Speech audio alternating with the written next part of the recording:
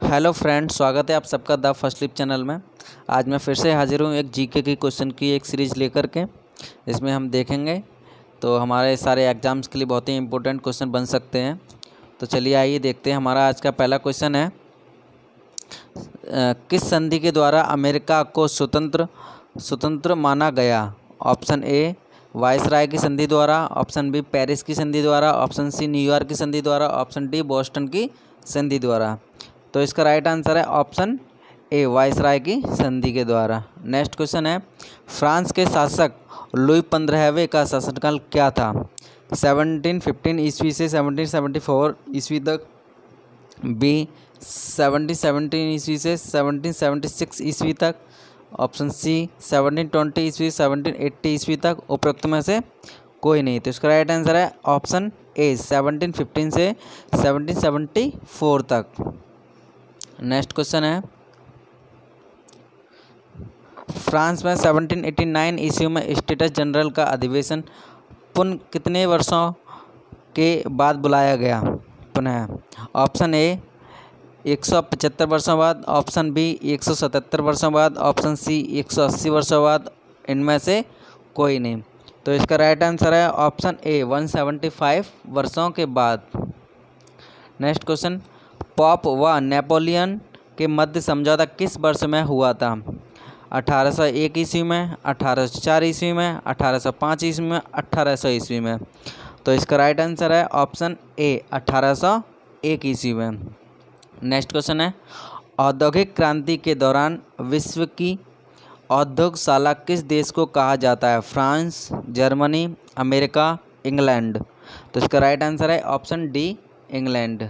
Next question. दोस्तों, video अच्छी लग रही है तो प्लीज़ लाइक कर दीजिए और ज़्यादा से ज़्यादा शेयर कीजिए, आपके दोस्तों के पास भी पहुँचे। नेक्स्ट क्वेश्चन, श्रम संगठन पुस्तक जिसे क्रांति की बाइबिल कहा जाता है, का लेखक कौन था? रूसो, टाइनमी, लुई ब्लॉक, मार्क्स। तो इसका राइट आंसर है option C, Louis Blanc. Next question है 1848 ईस्वी की क्रांति के पश्चात फ्रांस में अस्थायी सरकार का गठन किसके नेतृत्व में हुआ था? Option A, Rousseau. Option B, Guizot. Option C Lamartine option D, Louis Philippe. तो इसका राइट आंसर है option B Guizot. Next question है, अफीम के युद्ध में चीन का संघर्ष किस देश के साथ हुआ था? फ्रांस, इंग्लैंड, अमेरिका रूस। तो इसका राइट आंसर है option B England next question है। 1917 ईस्वी में रूस में एक क्रांति मार्च में हुई थी। दूसरी क्रांति किस माह में हुई थी? Option A June option B August option C November option D दिसंबर तो इसका राइट आंसर है ऑप्शन सी नवंबर नेक्स्ट क्वेश्चन है। रूस की क्रांति के समय रूस का जार कौन था? Alexander second, Alexander third, Nicholas first, Nicholas second. तो इसका जो राइट आंसर है option D Nicholas second. Next question है, चीन में क्रांति किस वर्ष हुई थी? 1905 ईस्वी में 1911 ईस्वी में 1914 ईस्वी में 1917 ईस्वी में। तो इसका जो राइट आंसर है ऑप्शन बी 1911 ईस्वी में। नेक्स्ट क्वेश्चन वाटरलू निम्नलिखित में से कहाँ स्थित है? France, Spain Belgium England. तो इसका राइट आंसर है option C Belgium next question है। 1919 ईस्वी में प्रारंभ हुए पेरिस शांति सम्मेलन का काल था। पाँच वर्ष सात वर्ष, आठ वर्ष, दस वर्ष। तो इसका राइट आंसर है ऑप्शन ए पाँच वर्ष। नेक्स्ट क्वेश्चन है पेरिस के शांति सम्मेलन में कुल कितने राष्ट्रों ने भाग लिया था? Thirty two thirty five thirty eight forty तो इसका राइट आंसर है option A thirty two next question दोस्तों, जिन्होंने अभी चैनल सब्सक्राइब नहीं किया है, वो चैनल को सब्सक्राइब भी कर लीजिए और प्लीज़ लाइक भी कर दीजिए। नेक्स्ट क्वेश्चन है, लीग ऑफ़ नेशंस का वैधानिक रूप से जन्म किस वर्ष हुआ था? 1919 ईस्वी में 1920 ईस्वी में 1921 ईस्वी में 1922 ईस्वी में। तो इसका राइट आंसर है ऑप्शन बी 1920 ईस्वी में। नेक्स्ट क्वेश्चन है, राष्ट्र संघ किस वर्ष समाप्त हुआ? 1945 ईस्वी में 1946 ईस्वी में, उन्नीस सौ सैंतालीस ईस्वी में 1950 ईस्वी में। तो इसका जो राइट आंसर है 1946 यानी कि ऑप्शन बी नेक्स्ट क्वेश्चन है, फांसीवाद का उदय कहाँ हुआ था? इटली में, जर्मनी में, इंग्लैंड में, फ्रांस में। तो इसका राइट आंसर है ऑप्शन ए इटली में। नेक्स्ट क्वेश्चन है, फांसीवाद किस रंग की कमीज पहनते थे? ऑप्शन ए सफ़ेद, ऑप्शन बी लाल, ऑप्शन सी काली, ऑप्शन डी नीली। तो इसका राइट आंसर है ऑप्शन सी काली। काली कलर की वो कमीज पहनते थे। नेक्स्ट क्वेश्चन है, इटली में प्रमुख फांसीवाद नेता कौन था? Hitler, Mussolini, Garibaldi, Bismarck. तो इसका राइट आंसर है option B Mussolini. Next question है मॉर्को की राजधानी है। Muscat, Managua Ulan Bator Rabat. तो इसका राइट आंसर है option D Rabat. Next question है। सम्मिलित करना है हमें निम्नलिखित को सम्मिलित कीजिए। म्यांमार म्यांमार ये मैच होगा ए का होगा फोर अब आता इराक। इराक का क्या है? दिनार।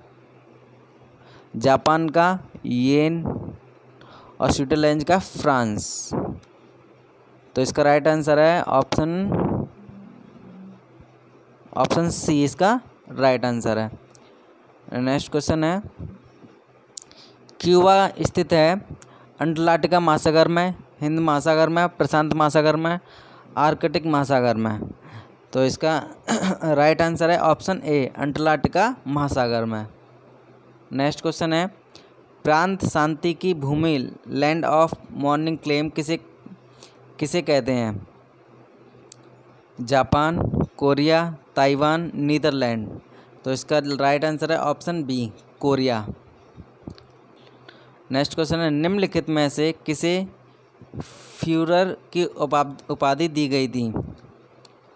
Hitler, Napoleon, Mussolini, Stalin. तो इसका राइट आंसर है option A Hitler. Next question है।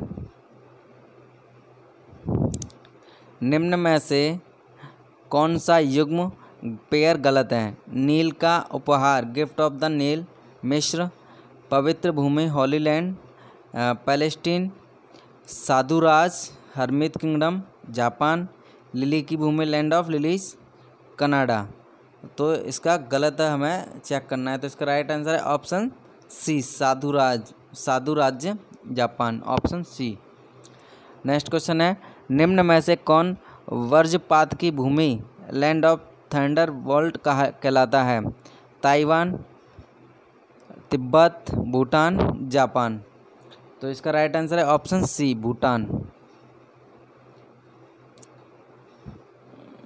Next question है आंसुओं का दरवाज़ा gate of tears Aberdeen Scotland में बाब एल मंदन जेरूसलेम में प्रेयरीज ऑस्ट्रेलिया में पामीर मध्य एशिया में। तो इसका राइट आंसर है option B Bab el Mandeb Jerusalem next question है। यूरोप के बीमार मनुष्य सिक मैन ऑफ़ यूरोप किसका उपनाम है?